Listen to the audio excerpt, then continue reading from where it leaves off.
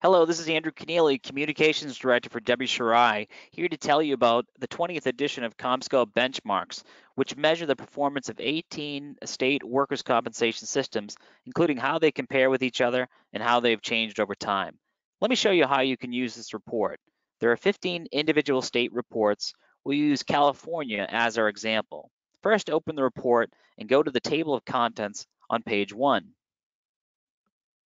Click on the Summary of Major Findings.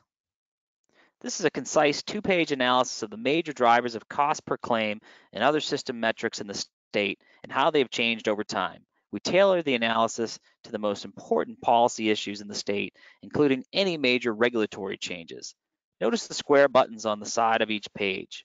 Just click on a button and it will take you to that section of the report. Next, we click on the major finding slides. The slides show the report findings visually and in more detail, telling the story in picture form using graphs and charts. Notice that the slides have slide notes, uh, which provide additional information about the data or state system features. Another section, discussion of major findings, expands on the findings presented in the summary and explains some of the factors that contribute to those results. If you're looking for specific drill down information, finding the data that you want is a quick reference guide to the underlying data, the detailed tables and figures.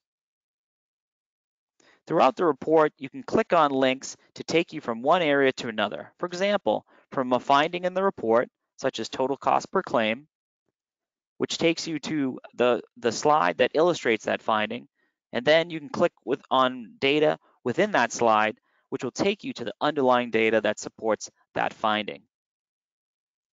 If you found this video valuable, please click on the, the like button below and subscribe to our YouTube channel.